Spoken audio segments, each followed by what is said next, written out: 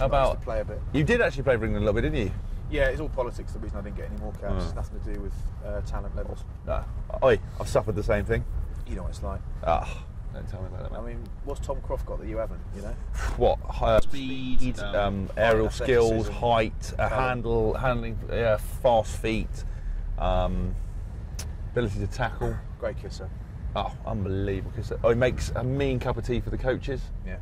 That's good. Yeah. Knows how to make a bed. um, you know, very similar to Chris Robshaw, really. The man who's living your life. The man who's The man, the man, who, your the man who saw my life and was like, he saw my life and goes, I'm going to have that.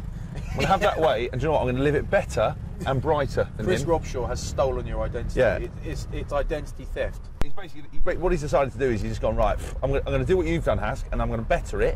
I'm going to be a better player, better lad, and I'm going to and I'm going to become England captain. I'm going to do more stuff for charity. yeah, And I'm Yeah. basically going to have a haircut that makes me look nicer than you. Yeah. Yours is yours is like Aggressive. um, you've got like a bit of aggressive stubble Mm, and a mm. bit waxy. His is public school boy. I am incredibly nice. Yeah, and- and, and- he is. The worst thing about Chris Robshaw is that he actually is as He- nice he's, a, as do he you know what? He's a lovely chap, and do, do you know what? He's not commercially minded.